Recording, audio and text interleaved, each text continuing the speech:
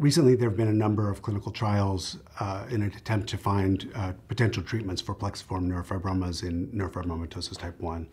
Uh, one of those drugs, uh, selumetinib, is in the hands of the FDA currently uh, and is expected to receive approval for the treatment of plexiform neurofibromas in children with neurofibromatosis type 1.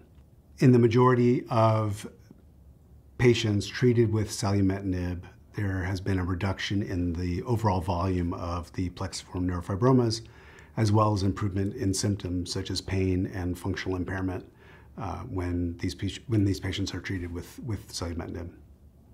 MEK inhibitors are a class of drug that were designed for um, a variety of different uh, cancers. And our understanding of the cellular pathways involved in neurofibromatosis, and particularly the RAS pathway, led uh, researchers to look at MEK inhibitors uh, and their potential role in treating the symptoms of neurofibromatosis. As you might guess from their name, MEK inhibitors in, impact and inhibit MEK. Uh, MEK is one of the downstream effectors of the RAS pathway. And uh, when MEK is inhibited, uh, the increased rates of proliferation of uh, tumors can be uh, impacted and can uh, decrease the growth or even uh, reduce the size of tumors. We don't exactly know all of the mechanisms by which MEK inhibitors impact the growth and impact the reduction in the size of plexiform neurofibromas uh, but it is thought to act primarily along uh, its impact on the RAS pathway. Our understanding of the reason why patients with neurofibromatosis develop tumors, and specifically plexiform neurofibromas, is that the um, uh, RAS pathway is hyperactivated in the absence of neurofibromin. Uh, because that is underlying the growth of these tumors, uh, inhibiting the RAS pathway uh, is postulated to impact tumor growth uh, and MEK inhibition is one strategy to impact the RAS pathway.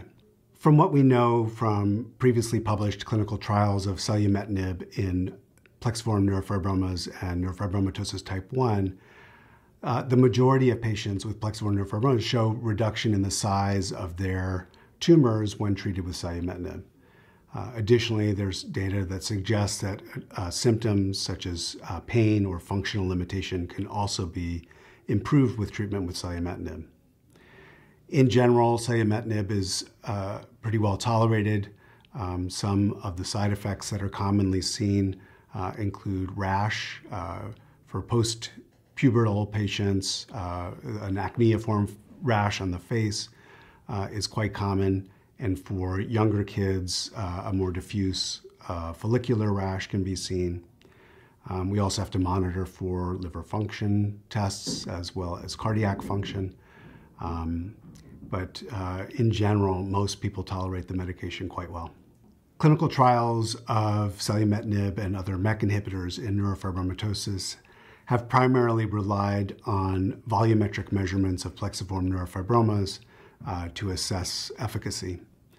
Um, however, uh, future studies and, uh, and ongoing studies are also looking at functional outcomes, um, measuring uh, neurologic impairment, uh, cosmetic uh, changes, uh, quality of life as, as additional outcome measures for, for these medications.